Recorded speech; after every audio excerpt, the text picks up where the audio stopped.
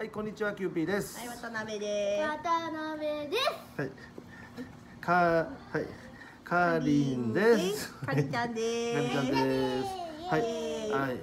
あのーそうですね。今日は何日？5月の？八。8ですね。8日ですはい。えっ、と今日もうさに来ております。はいえっ、とまあそうですね。えっ、と初めはマンボウが入るので、えっ、と延期にね。あのまあ、お願いをされてまあ延期にするしかないかなという、まあこんな感じだったんですけどなんかそれの上のねはい。非常事態宣言が出て、まあ、31日までということなので、まあ、ちょっと今回は、えー、と5月の23はい。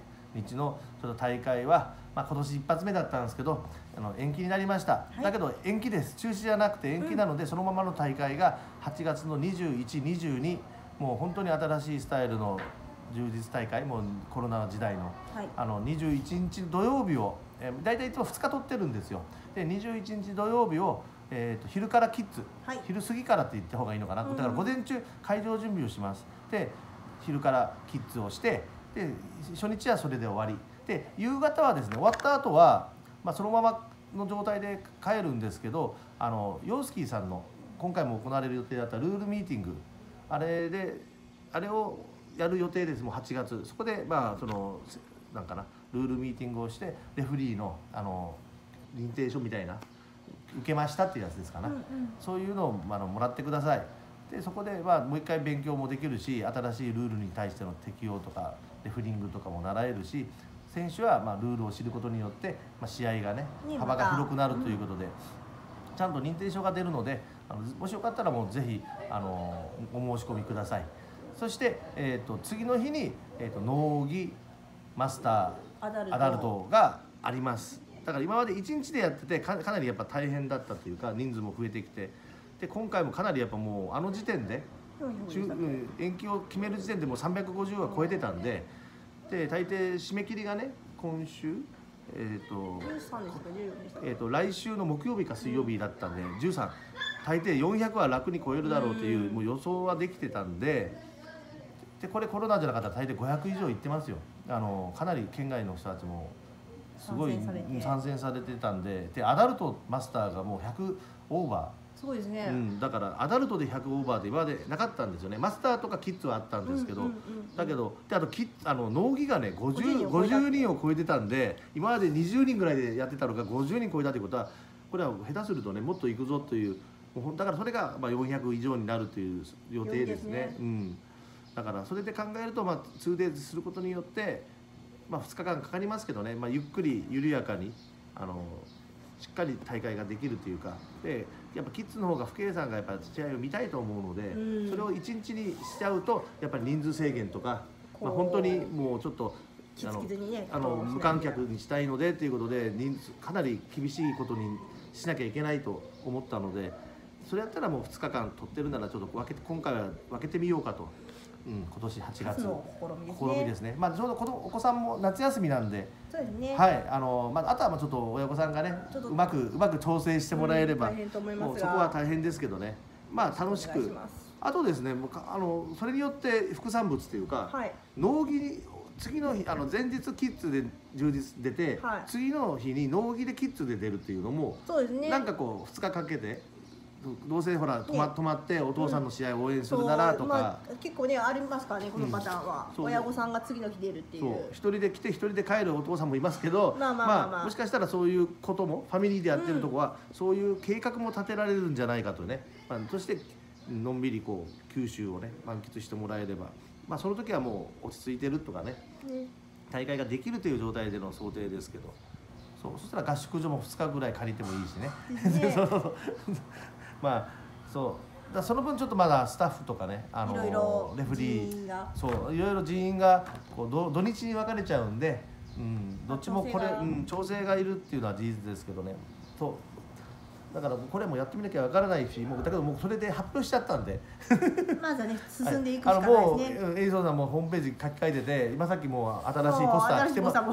送ってきたんで もう貼貼ってると思います。まあ日にちが変わっただけですけどね。はい。ただまあキッズが土曜日21日。そしてマスターアダルト農技が22日の日曜日でです8月、まあ、夏休みの終わりの方ですけどお盆明けのね。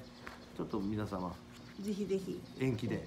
でよかよエントリーしてる人はできればそのままスライドで。よろしくお願いします。体重だけ変わると思うのでおこのお子さんはそね。こだけのそこだいて。変更をしてくださいであの初めのスタートがちょっとこう一番安い状態ではないのないと思いますけど今回はですね。うんで1回目の締め切りが早く終わるみたいなので これは情報として、はい。だからでなるべく初めにねエントリーをししとってください。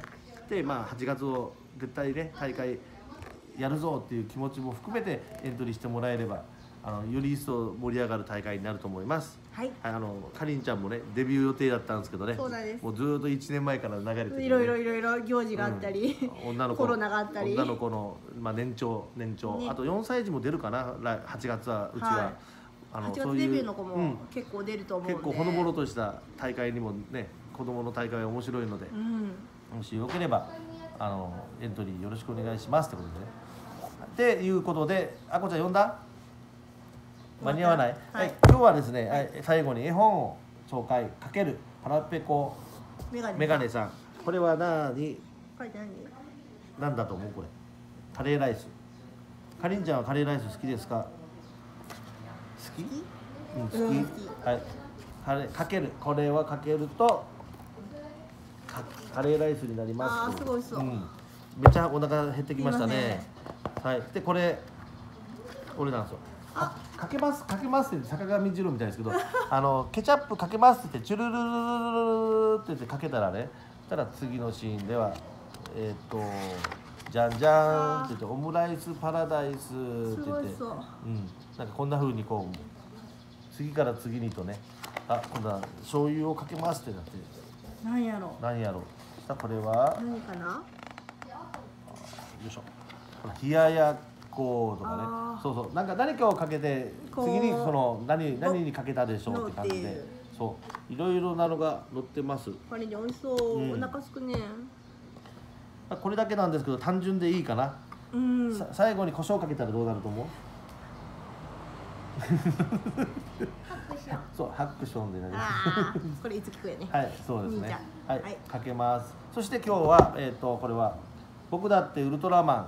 吉永光太先生のね。これウルトラマンシリーズね、はい。ウルトラマン勇気シリーズね、うんうん。そう今度はセブンも来るんですけどね。なかなかこう勝てないゆ勇気くんね。シュワッチってちょっと敵に騙されてね巨大化しちゃってね。う。うん。あの操られるんですよね。へでそこをまたねあのみんなの力で。であのスペシウム光線おしっこみたいなースペシウム光線こういうそう。おしゃれやつねどれだったの。まあいいや。あのそう。このこのこのおしスペシウム光線ね。ビヨーン。こんな感じで。と距離があんまりない。ウルトラセブンはかっこよくワイドショットを決めます。はい。これで敵を倒すという。ここれは人気のシリーズですうん。ねスブラヤプロがちゃんとあれしてるんでしょうね。ですね。ね。でなんか給食番長シリーズがねなんかまたえなんかな。この前えなんかなフェイスブック見たら吉田光沢さんのなんか、給食番長シリーズがあれな何になるの？なんか新しいシリーズなのか生なまれるかまた、うん、か英語版が出たのか。ー。なんかやっぱ人気があるみたいですね。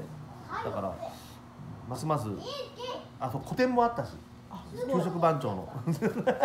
番番長シリーズの古典もあったみたいなんで確か福岡の方なんで、へー。はい。そうなんですよ。だからはいあのまあかけながら応援しておりますのでよろしくお願いします はい、まあ、今日はこの2点でした。かける腹ペコメガネさんのかけるっていうのと僕だってウルトラマン勇気対セブンというシリーズものでした。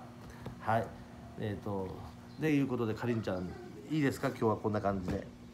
うん、あのホームページもすぐまあ大体8月のエントリー始まっちゃうと思うので、あの8月でまめにまめに見ててください。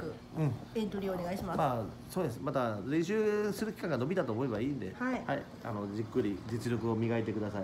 ねよかったね、あこちゃん。この前で本当ならで女の子やっと女の子がねあの出てきたんで、ははいまあ、8月にねぜひ戦いましょうということで、はい、それではさようなら。さよなら